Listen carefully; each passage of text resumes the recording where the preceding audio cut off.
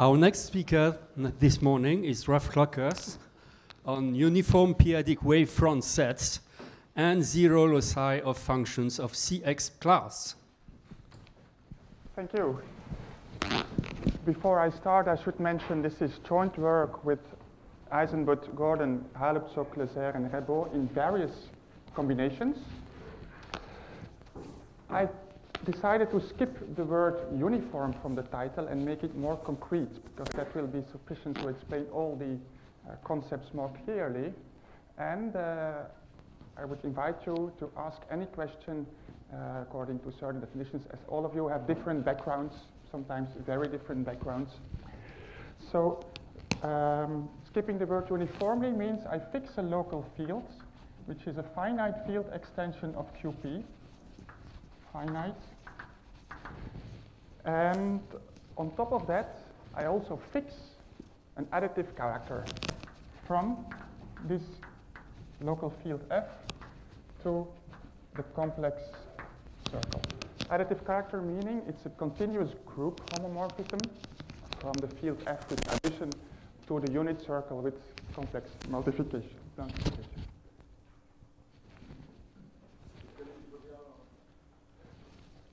Non-trivial.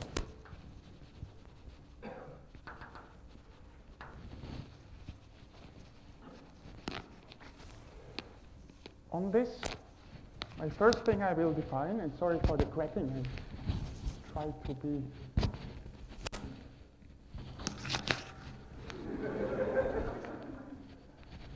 calm. I need to stay calm. Maybe the sound can be put down and I can speak louder, so there is a compromise between cracking and non-cracking. Um, so what language should I use? I use the language of rings with coefficients from the field F. Language of rings contains, sorry? Continuous group homomorphism. So that's what is called an additive character. Yeah. Yes. So I use the language of rings and this will say when x inside f to the n is a definable set and also it will give me when a function is called definable. Sorry, can the volume be put down?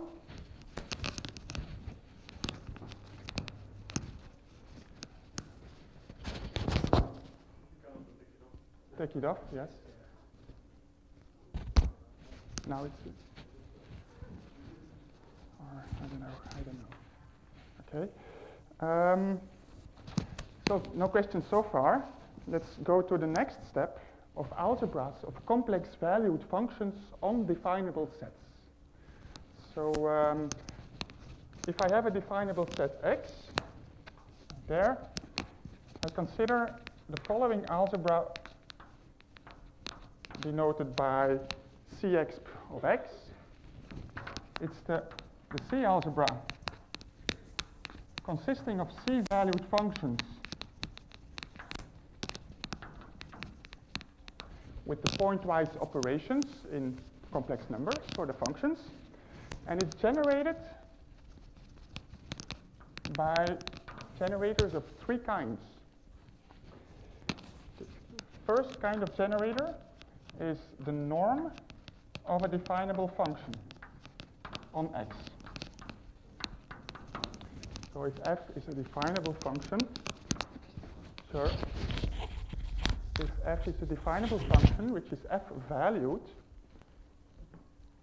you can take its norm, and I'm going to normalize the norm to be q, the number of elements of the residue field, to the power minus the order of f, where I take as value group the integers.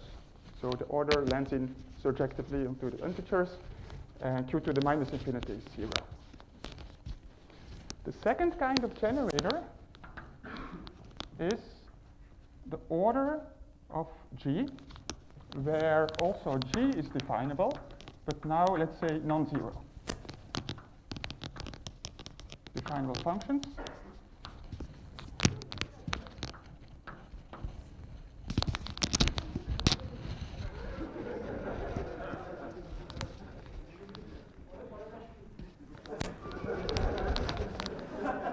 Um, the third generator is a composition of the additive character with another definable function, psi, psi, psi of h.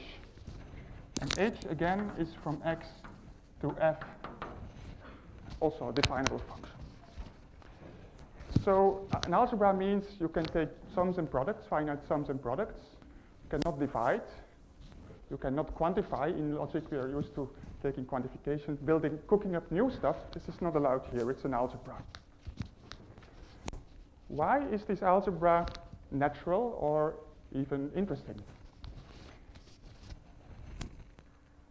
That's because it has nice properties. And this is almost a little bit classical, so let me just briefly mention the properties. This algebra of functions is closed under integration. That's why it was defined like this.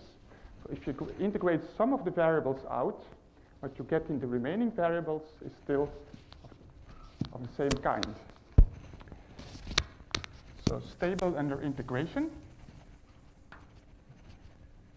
This was why it was cooked, uh, de defined like that, this algebra. So in particular, it's also stable under Fourier transformation because this additive character is like exponential 2 pi i of some input. It's an oscillating thing. It's uh, how you cook up Fourier transforms. So it's stable under Fourier transformation, meaning if you have a function of this kind, of the kind Cexp, which is integrable L1 in the measure theoretic L1 sense, you can take its Fourier transform, it will remain in that class.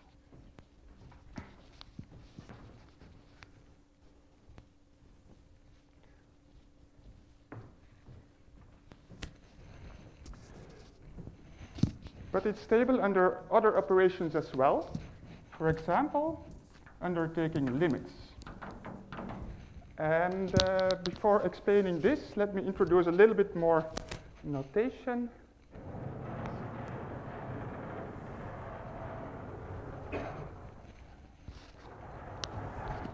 So a function, um, a function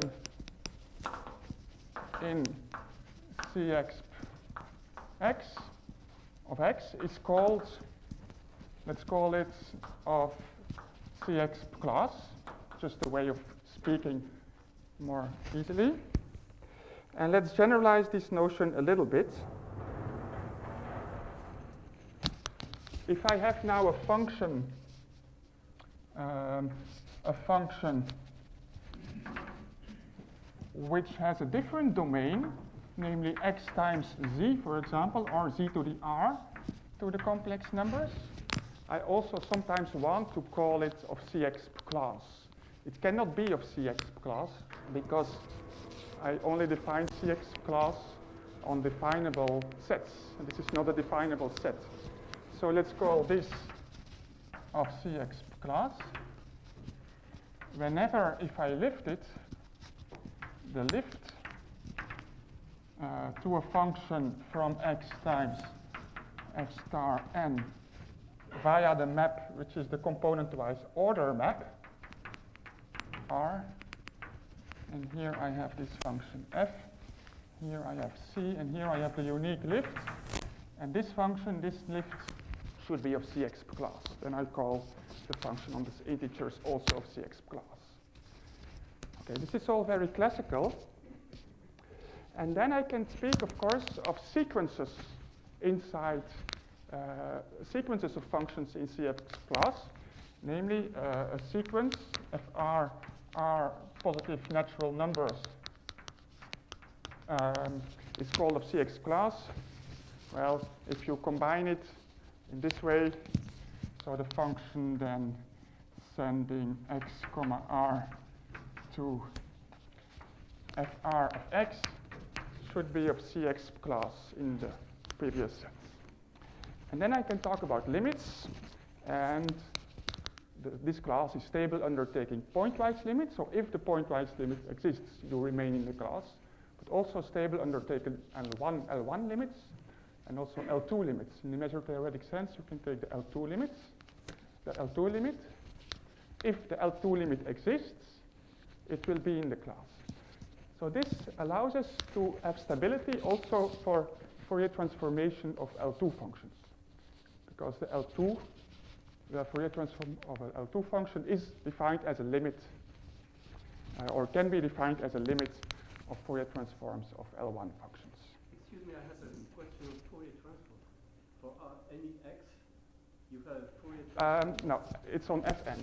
So the Fourier transform, say, on, on Fn. And then you get the function on the dual of Fn, which you can write also as Fn because we have the natural pairing, natural identification with the psi.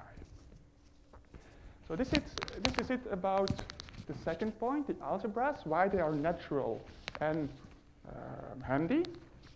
Let's go to the third point, and that's the loci. Is there a third?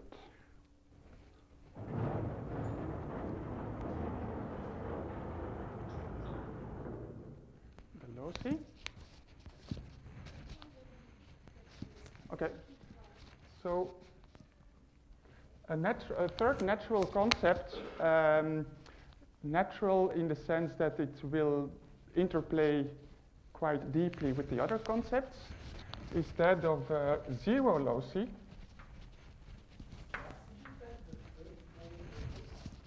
Yes, I can try.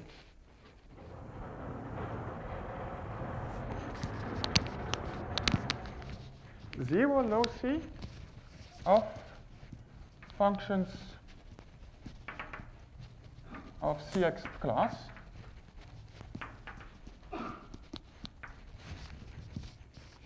So this is just an algebra of functions. You can form zero loci. An important thing that you should notice is it has a different flavor than zero loci of polynomials in algebraic geometry. There you have a Noetherian topology. Here, a zero locus need not make the dimension small. For example, you can take the characteristic function of a single point, and the zero locus will be everything except that point. So zero loci can be dense, can be big. It's not an Noetherian topology that you get on, the, on these loci. So that's just a, a side remark. But why are they important? Well, we never wanted to study them in, the, in themselves. But what we wanted to study is the following thing. If you have a family of functions of Cexp class, so you have f on a definable set times maybe fn to to uh, to f uh, to c sorry complex numbers of Cexp class. You can want to you, you want to see for which parameters x is the function you get as a family member on fn to c, so fx. And here you have uh, the dot function, meaning you send y in fn to fxy, the function on fn. Those family members which are L1. This is a locus that you can call the locus of integrability. And uh, we studied this locus of integrability with a lot of properties, like uh, if it's dense, it is of a certain form. If its complement is dense, it's of a certain form. And suddenly we noticed that actually we can describe it, catch it by a more general concept. And uh, these loci of integrability are always a zero locus of some other function living on X, of Cexp class. So, and vice versa, any zero locus of a function of Cexp class on X can appear as a zero, as a locus of integrability. So it's really the right concept. And then we went on and we said, okay, you can form other conditions here. You can look at family members which are locally constant, bounded, L2, um, var various uh, things.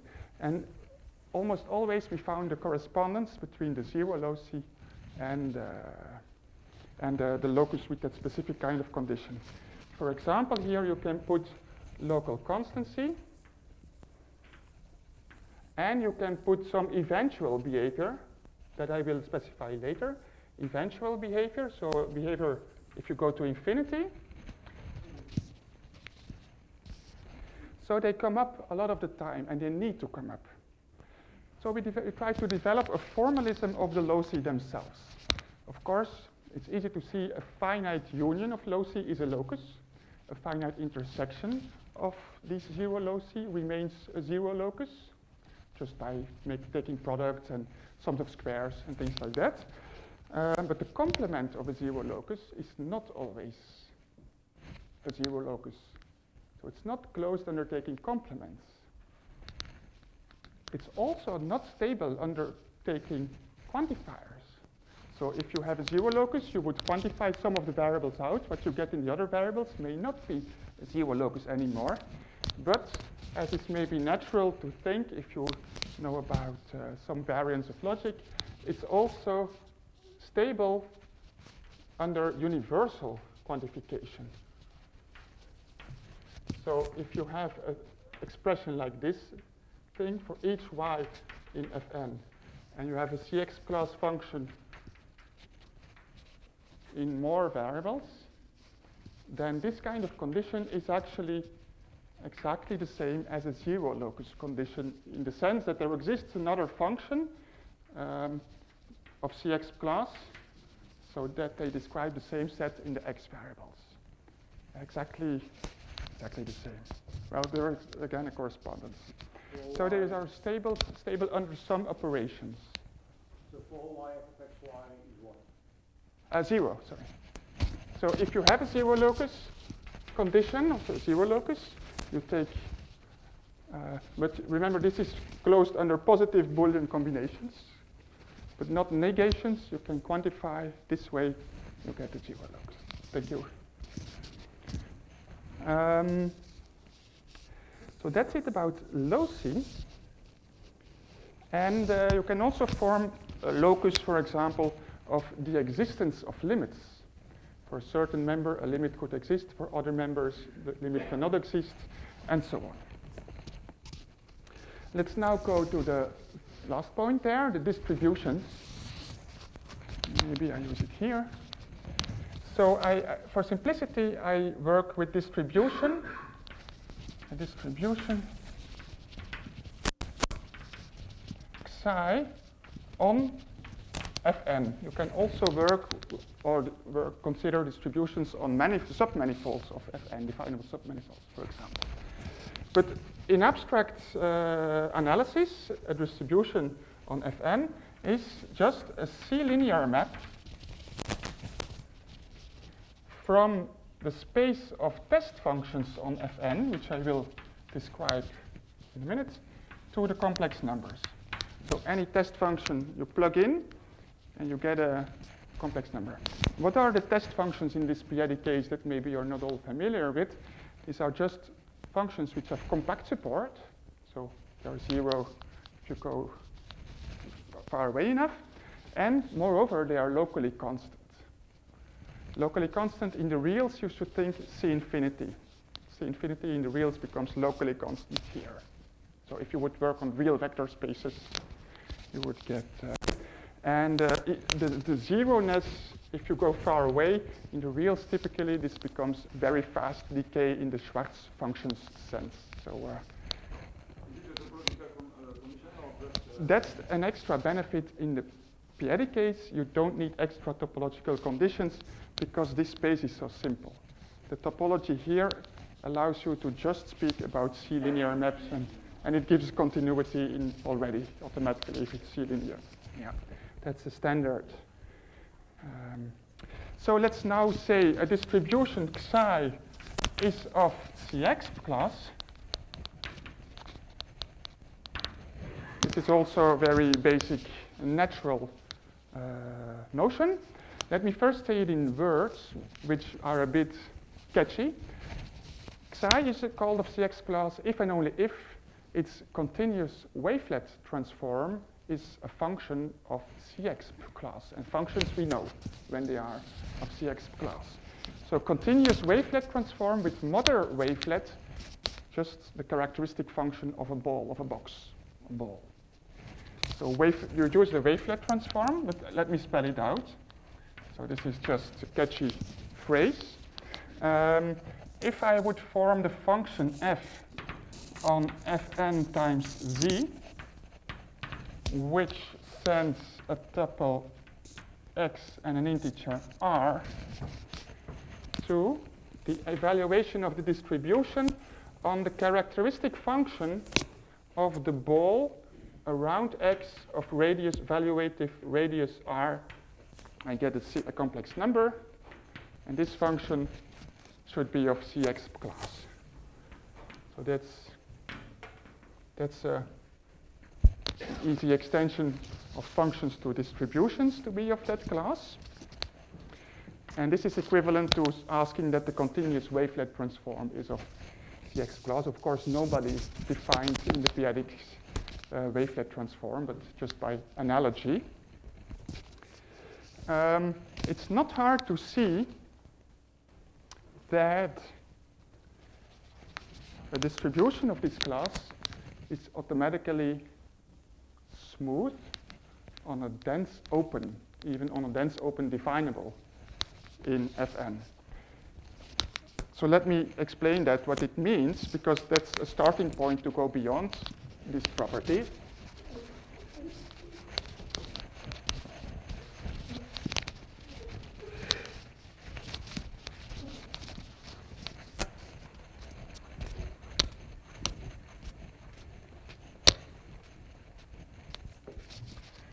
So what is the smooth locus of a distribution of psi? That's defined as those sets, those points in the space where psi lives on, so with notation like there, distribution on Fn, such that um, if you restrict psi to a small open around x, x u small open, small enough open, um, you get a, a, distribution which is locally constant. Uh, so that restriction is locally constant. And what does that mean? It means actually that you have a locally constant density function, so to say, and calculating the distribution is just calculating the integral of the test function times the density function. So it's a locally constant. In the reals, you would say it's locally C infinity. If you take a small, small thing with compact support, it becomes locally C infinity. When you say locally constant in a small set, it means to make u even smaller, it becomes constant, right? Yes. Okay, so yes. Um, let's call this the smooth locus of psi. And the complement has also a name. It's called the singular support. And it's maybe written like singular support of psi. And as I said, in the Cexp class, the smooth locus is always open dense, even um, related to an open dense definable set with an inclusion in one way, but it's not always equal to, it's not always definable. So what is it? So there is a fact for a general distribution psi, not necessarily of our class, um, any open any open subset can be the smooth locus. Can be the smooth locus of psi. So the singular support can be any closed set. Not so in the Cexp class case. Um, if psi is, as I said before, is of Cexp class, then the so we catch the right nature of the smooth loci of, the, of these distributions. This is not so deep a result. It's a recent observation. It's a nice, it shows the naturality of the concepts, but it's not really, really difficult. But if you want to work with distributions, you want to manipulate them. For example, you want to transform them.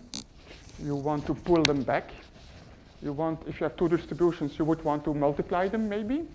And sometimes you can do that, sometimes not. And that depends a little bit on the singular support. If the singular supports of two distributions are disjoint, then you can multiply them. Because then locally, it's like multiplication with uh, a, a, locally constant thing. And if you're in the singular support of the one thing, you're locally constant for the other, so you can take the product of the two distributions easily. Same for the pullback. If your singular support is sufficiently different from, so to say, the, the singular nature of your mapping that you want to pull back along, then you can take the pullback of that distribution easily. But if the singular nature of your mapping intersects the singular support, maybe you can, maybe not.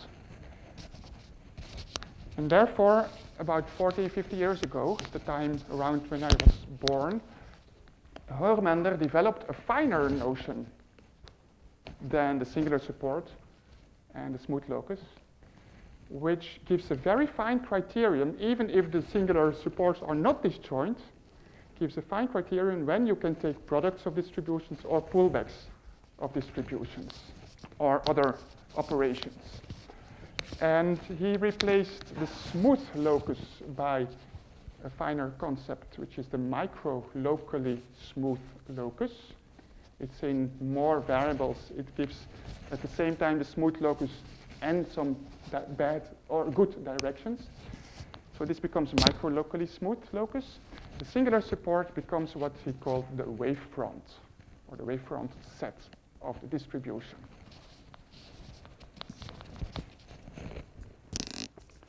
Um, so let me let me define that. So the wavefront set is a refinement of the singular support. And it needs a little bit of new notation. Like here.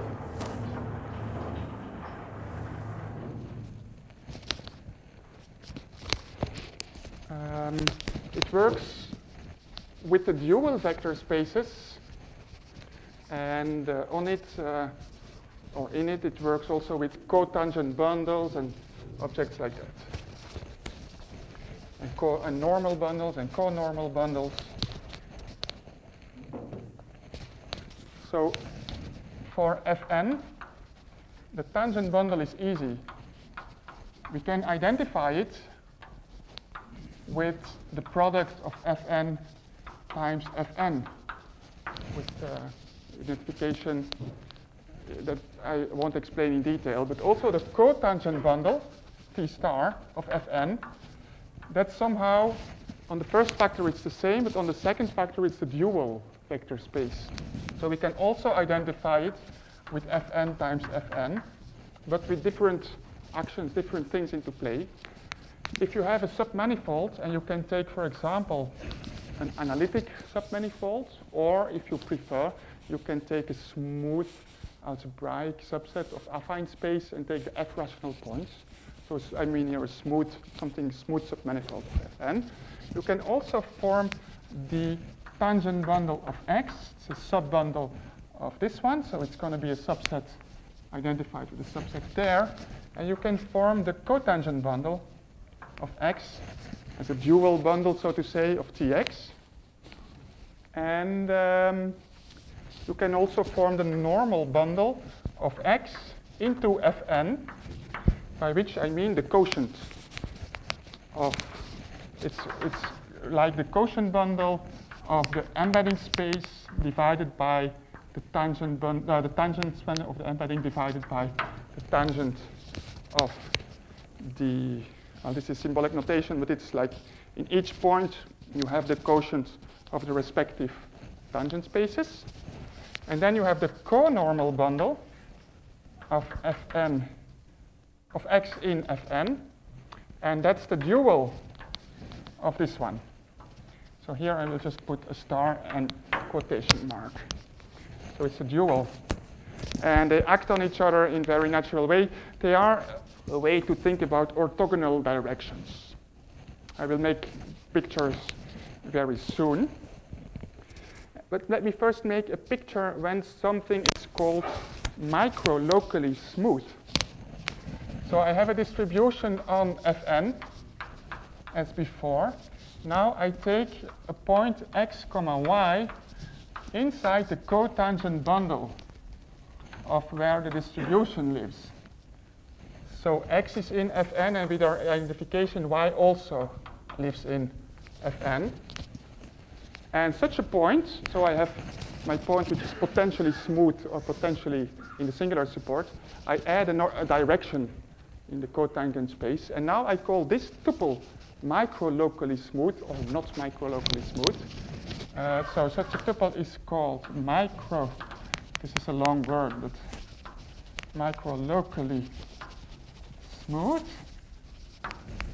Uh, and I will define it on a picture. If you want precise details, you need a lot of quantifiers.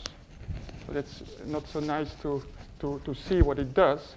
But here on Fn, I take my first copy of Fn. And here I have the dual Fn. So for example, here is my point x, and here is my point y. What I do is the following things with putting quantifiers in the right way. You take a small open neighborhood very close by x, maybe not containing x, but sufficiently close.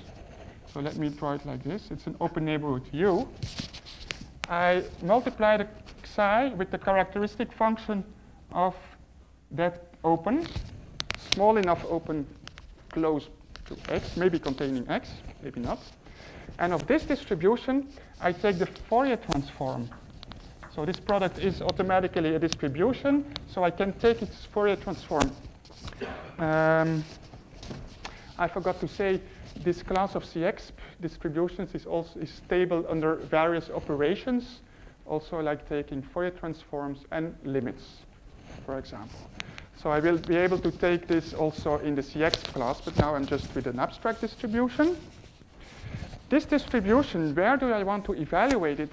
Well, I would like to evaluate it in Y, but apart from Y, I will not take an open neighborhood.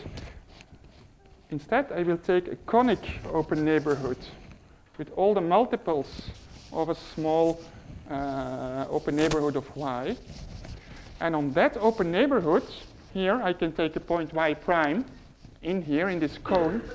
Cone, so I mean scalar multiplication and you go further away. I can evaluate it in y prime. Why is that? Well, this Fourier transform happens to be a function on this space, so I can evaluate it at any point. And what I ask here is that this is eventual, uh, eventually zero. So if I go far enough away, here it's identically zero. It's zero if y prime is far enough, far, far enough up. So in a sense, it looks via the Fourier transform, and that's maybe why it's called wavefront, because the Fourier transform is, is like a wave or something, and it should, if it vanishes, the, the waves vanish, you call it micro-locally smooth. The complement of the micro-locally smooth locus is called the wavefront set. So the wavefront of psi is equal to those tuples xy, which are not micro-locally smooth. And for convenience, one also maybe sometimes one puts in the extra condition that y is non-zero, but so that you're not, in the origin, it's not so interesting to take conic multiples, so that's not an interesting point. So there's the wavefront set, there is the, the locus of micro-locally smooth points. So what are they? We saw that If you only look at the smooth points, it's a zero locus. What about the micro-locally smooth locus? That's a refinement. Is that also a zero locus? And what extra conditions to get the other way around? So that's uh, one question. Uh, let me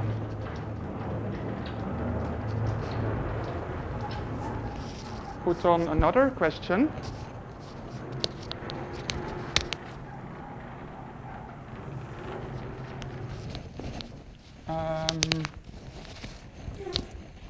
Another question and another fact about abstract distributions.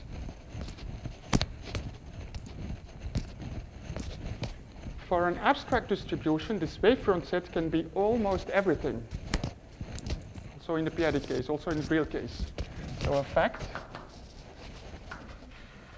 for any, or any even, any uh, closed and conic set, and by conic I mean in the y variables, as before you can take multiples in this in the y variables, f, f, f star multiples.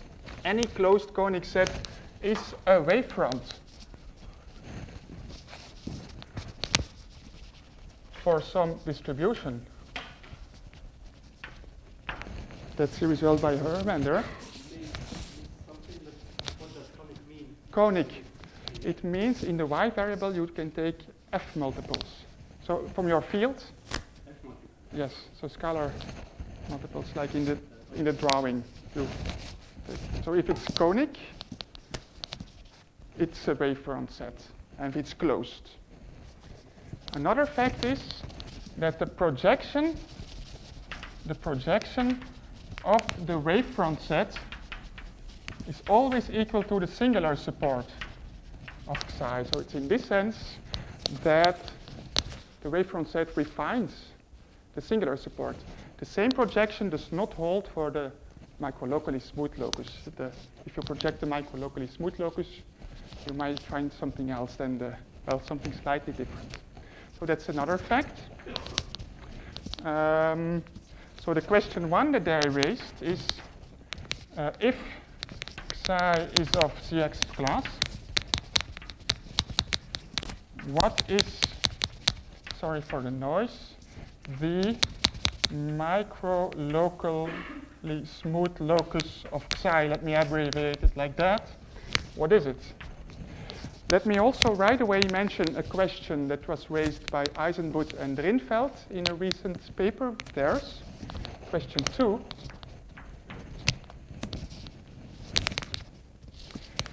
Does there exist a natural um, or a, a natural class, subclass of WF holonomic distributions, which I will define, holonomic distributions, which is stable under Fourier transformation.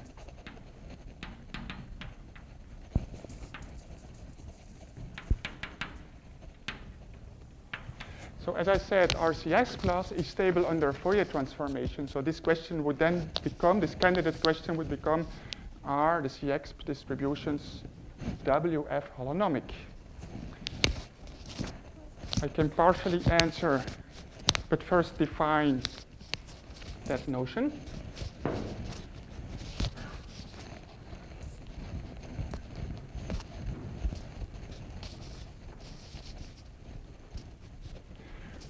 What is WF holonomicity here? Well, on the reals, there is a very natural notion of holonomicity, which comes from D modules, which is very, uh, yeah.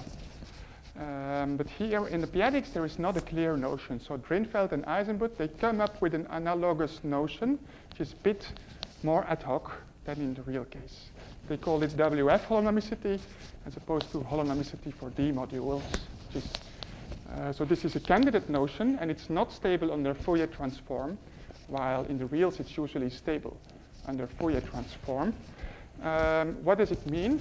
A distribution is WF holonomic if and only if wf of psi is contained in a finite union, here go 1 to n, of co-normal bundles of subvarieties. And let me just write it out. Co-normal bundles of xi in Fn. And this means actually the following. If you have um, Fn here, you have the dual space here, you have a smooth thing here, which is smooth. For each of these points here, you will have, so to say, the orthogonal line in here. So for each of these points, you have a line. And here, if you have a point, if some of the xi is a point, on that point, the co-normal bundle is the whole, is everything, all the lines. On the other hand, if you would have a surface, um, uh, well, yeah, now I'm, I'm it, drawing in F2 here. So it's, a, a, uh, in particular, it's a condition of the dimension. Um, this thing has dimension, in particular, at most n. As you see, if the codimension goes down here, up to a point, you get a higher dimension here, and vice versa. And moreover, it's a kind of orthogonality. These conormal bundles are sometimes called isotropic because uh, the, some natural symmetric form vanishes on it. Um, but moreover, they are also called Lagrangian, which is even more specific. They're isotropic of maximal dimension, these pieces. On that point, I have the whole fan of lines. So it's of maximal, it's called, sometimes called Lagrangian also. So what is the result that we have? If psi is of Cexp class, you're going to guess it, something is going to be a zero locus. But what is a zero locus? I have something and I have the complement. I have the micro-locally smoothing and its complement the wavefront. One is going to be a zero locus, the other not. Here, it's the micro-locally smooth locus of psi is going to be a zero locus of Cexp class function, of a Cexp class function. But we know a bit more. It cannot be anything, as we saw before, the smooth locus needs to be dense, open. Here also we have some extra information. Um, the wavefront set, well, or more conveniently, psi is automatically WF holonomic. So there you go. So this is uh, an answer to the question by Drinfeld and Aizenbud, because they, in their paper they studied a lot of distributions, which all are of Cexp class. They're all of Cexp class, and they proved their holonomicity for these distributions. So now we have holonomicity for all these distributions of this class, and we have stability under Fourier transform. So we find a natural subclass with both that you can manipulate and you, you remain geometrically nice. But we don't have a converse yet. So we think this is not enough to have a converse. So if you, I mean, if you have um, just an abstract zero locus whose complement satisfies such a kind of inclusion, so the holonomicity condition, we don't know if you can construct a distribution with that specific wavefront set. Um, maybe we need extra, extra conditions. Uh, we have a a working candidate, but uh, it's not yet a result. Um, so what, how to prove that it is holonomic in this sense? What are the ingredients to prove that? Well, there is a technical lemma uh, saying that uh, we're talking about sums of distributions, tensor products of distributions, so that you can do basic operations. But then there is, um, uh, we, we use a kind of resolution of singularities for definable functions that we develop using Hironaka, but also using techniques by Denef and van den Dries, and combining that with techniques from van den Dries, Haskell, and Macpherson. So these, yeah, Hironaka in this context apply to definable functions. Not terms, but definable functions. Gives you a, a, kind of embedded resolution for definable functions, and that allows you, with extra work, to reduce to product situation. You can do induction on dimension. And on the way we go, we find also a regularization result. So if you have a distribution on a dense open, you can extend it to the whole set and stay in the Cexp class. So you can extend it uh, in a way, and that's kind of part of the, the proof. So I have, uh, I will use my last two minutes.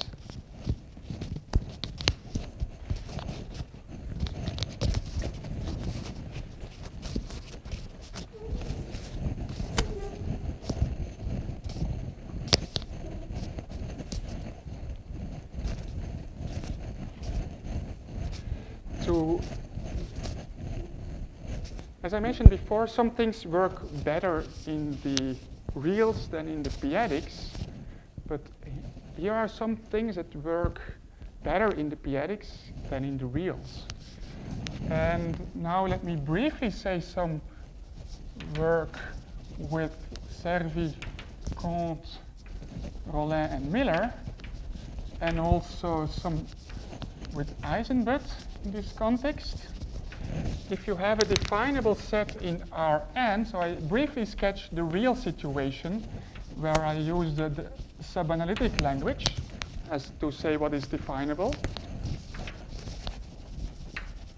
I can form a similar algebra Cexp of functions generated by definable functions from x to r, the logarithm of definable functions and an additive character of a definable function. So the three generators are there again, and you close up a little bit more under integration, which was not needed in the p-adic case, under integration. And we made that explicit what kind of function you need to add, but I will just write here close up. This is stable under Fourier transform, and you can talk about distributions which have a continuous wavelet transform with mother wavelet, the Gaussian. So the Gaussian function is inside, strangely enough. Uh, so you can take the wavelet transform with respect to that mother wavelet, the continuous wavelet transform. If that is of this class, you call the distribution also of that class. So you can talk about various things as before, the loci, and see what loci do what for you. And you can talk about the wavefront. It's analogous and the micro-locally smooth thing. And you can talk about holonomicity. So one of the questions that we are addressing in uh, that's work in progress is uh, about analytic holonomicity. There is no chance here to be algebraically holonomic but it's about analytic holonomicity, which is a local notion related to local D modules. And strangely enough, this variant of holonomicity is not stable under Fourier transform. So you can ask the Drinfeld-Aizenbud question also here, is there a natural subclass of analytically holonomic distributions which is stable under Fourier transformation? And our guess is that the Cexp class is analytically holonomic and stable under Fourier transform. So that's work in progress. But we know much less about loci. Even the starting point loci of integrability are only understood in low dimensional cases because real integrability with oscillation and with this closing up under integration is subtle and hard. So the loci have been less understood. So the calculus with limits is, is partially also okay. So this is half a check, half, half a check. But uh, the, the universal quantification, I think it's okay, but I'm just quoting out of my head now here. So there is work to do on the loci. And you need all these limits and this eventual behavior to see that things are lossy. Like, for example, here, something needed to vanish identically if you go far away. So that's like an eventual vanishing. That kind of condition, you need to work out that this remains a zero locus. Eventual vanishing is not the same as identical vanishing. So we need a formalism here that hopefully will be developed soon. And then maybe we can say that the micro-locally smooth locus here is also a zero locus. Who knows? So I thank you here for.